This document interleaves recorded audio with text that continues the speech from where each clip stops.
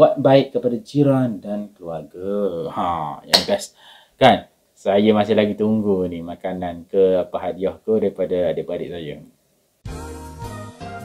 Assalamualaikum warahmatullahi wabarakatuh. Selamat kembali lagi ke siri yang seterusnya bagi 20 tips dalam mendapat Ramadan yang terbaik.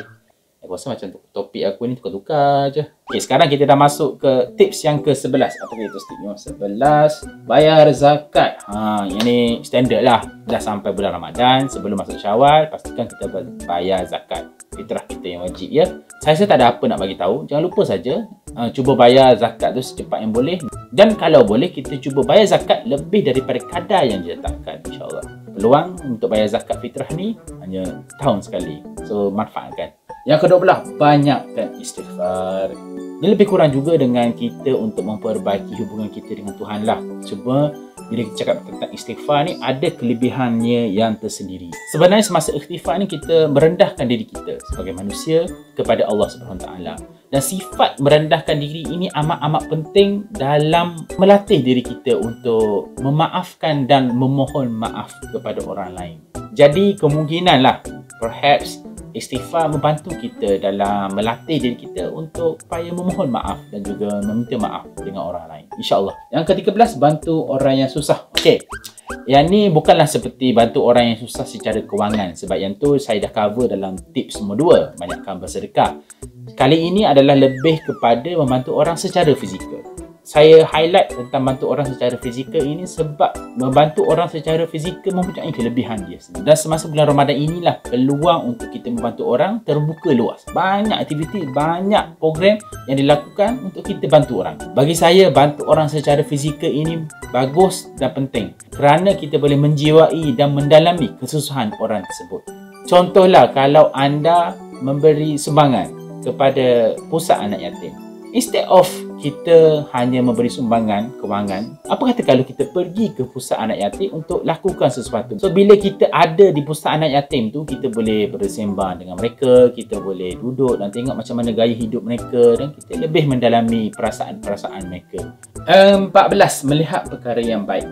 Ha, dan hmm, dan 15 mendengar perkara yang baik. Ya sebenarnya lebih kurang je kalau tengok dua perkara ni So bulan Ramadan ni sebenarnya peluang untuk kita melihat dan juga mendengar perkara-perkara yang tidak baik berkurangan.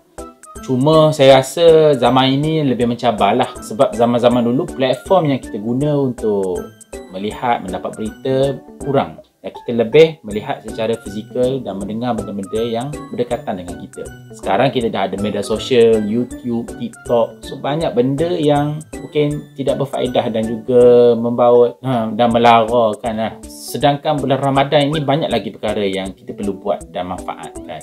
Walaupun begitu, banyak juga platform dan juga program yang dilakukan semasa bulan Ramadan ini untuk kita semua. Contoh sekarang, kita bangun pukul 4 pagi, ada je siaran uh, live ataupun radio yang memberikan tazkirah ataupun kuliah semasa kita bersiap-siap untuk bersahur ataupun sebelum waktu berbuka dan selepas waktu berbuka. So manfaatkanlah waktu-waktu itu untuk kita mendengar dan juga melihat perkara-perkara yang berfaedah insya-Allah. Yang ke-16, yang ke-16 buat baik kepada jiran dan keluarga. Ha, yang best. Kan? Saya masih lagi tunggu ni makanan ke apa hadiah ke daripada adik-adik saya. Yalah semasa bulan Ramadan inilah yang terbaik kalau kita nak berbaik dengan jiran sebab kita tahu ya, waktu mereka berada di rumah dan waktu makan mereka. Gunakan peluang ini untuk kita hantarkan makanan, bertanya khabar, berkenalan lah untuk memperbaiki silaturahim kita dengan jiran-jiran kita. Tetapi apa-apa pun dalam Islam, keluarga adalah lebih penting daripada itu. So kalau ada adik-beradik ataupun ahli keluarga kita yang susah, bertanya khabar lah dan membantulah mereka insyaAllah. Baik, itu saja kali ini dan insyaAllah video seterusnya merupakan video yang terakhir. Saya ucapkan terima kasih dan kita jumpa lagi akan datang.